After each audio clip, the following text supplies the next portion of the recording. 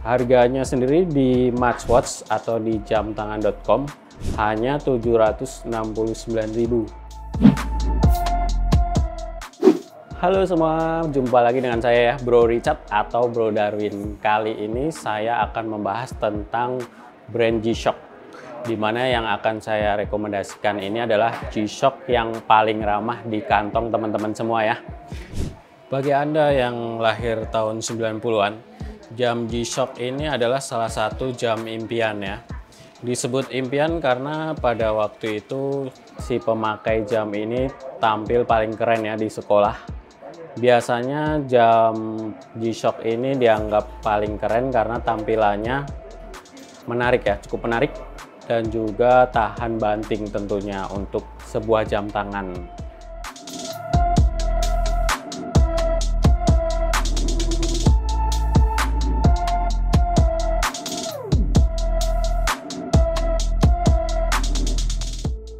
Di tahun itu nggak banyak ya jam tangan yang mampu atau mempunyai fitur tahan banting dan juga water resist sudah 200 meter.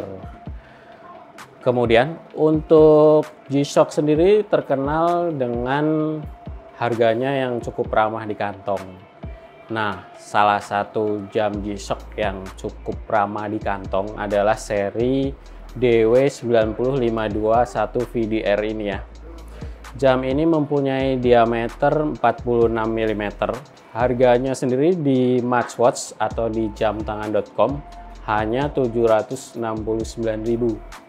Tentunya bagi tangan-tangan orang Asia atau tangan-tangan orang Indonesia, jam ini cukup nyaman ya dipakai di pergelangan tangan.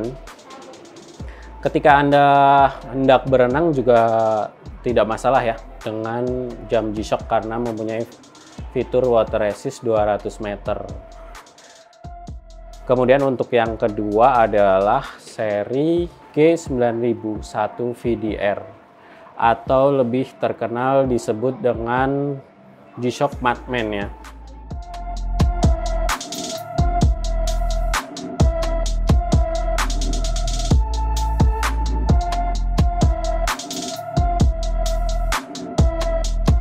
G-Shock Madman ini sendiri awal diciptakannya itu untuk eh, teman-teman di bidang rally motor ya, rally motor sport. Karena mempunyai fitur mat resist. Apa sih fitur mat resist itu?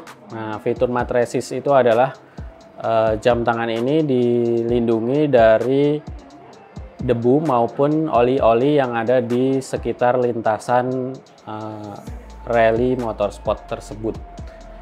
Dan di bagian belakangnya sendiri ada uh, semacam gambar ya yang menggambarkan ini adalah matresis atau matman. Nggak semua G-Shock sih mempunyai um, gambar seperti ini di bagian belakangnya. Kemudian untuk jam tangan ini sendiri masih menggunakan strap dari resin ya. Namanya G-Shock sih selalu menggunakan resin.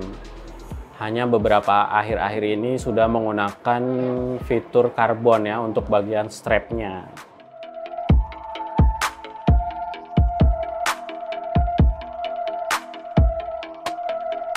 Kemudian yang ketiga yang paling spesial dari yang harga-harga ramah di kantong ya adalah G-Shock Goofman.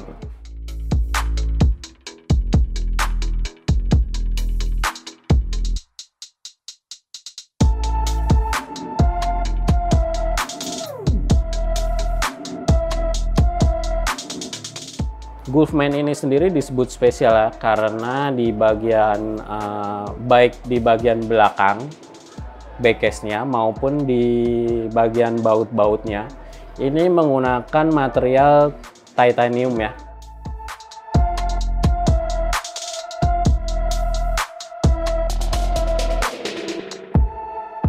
Sebuah jam tangan G-Shock yang uh, cukup menarik karena Jam ini mampu e, bertahan di kondisi yang cukup ekstrim, di antaranya e, anti karat terhadap air laut ya untuk e, bahan titanium ini. Kemudian seri Goofman ini sudah dilengkapi dengan fitur moon pace ya. di bagian tengahnya atau moon tight di bagian tengahnya di mana ada fitur uh, ketinggian air laut. Kemudian ada uh, fitur moon pace-nya ya di bagian tengahnya juga.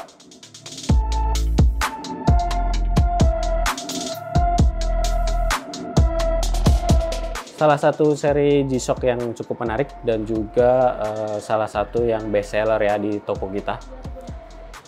Casio G-Shock Movement itu dia tadi uh, rekomendasi tiga buah jam G-Shock yang paling ramah di kantong ya. Bagi yang penasaran silahkan langsung ke website kita aja di jamtangan.com maupun di aplikasi MacWatch sebelum kehabisan ya. Oke, okay, bye-bye.